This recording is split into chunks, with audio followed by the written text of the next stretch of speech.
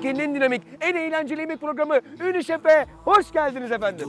Maharetli ellerden çıkar birinci sınıf yemek Mutfakta şefler var tüm tabaklar süslenecek İki üniversiteli şef Ünişef, Cumartesi Bean Gurme'de.